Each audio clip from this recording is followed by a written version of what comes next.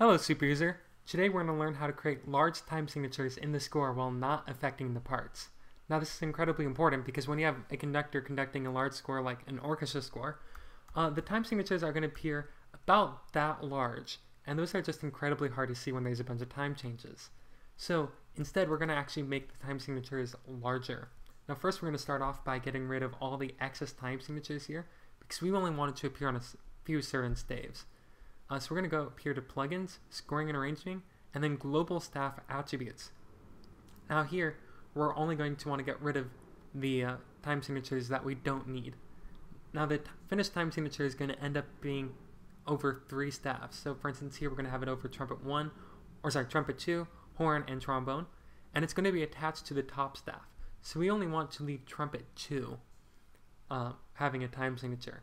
So we're going to go select all the instruments other than the second trumpet, and you can do that by hitting Command and then clicking. And then deselect time signatures in score. Hit apply, and now we can see all those are gone.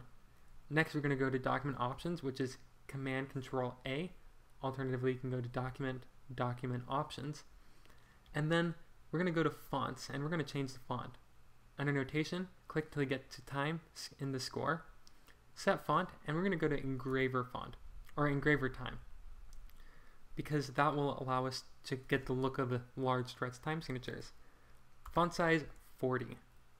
Hit, hit OK, and you can see if you hit apply, you get the large time signatures.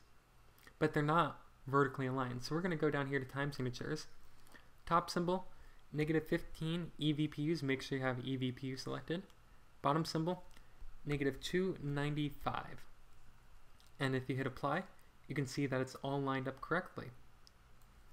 And so that's how you create large time signatures in the score. And as we can see in the parts, we still have the normal time signatures.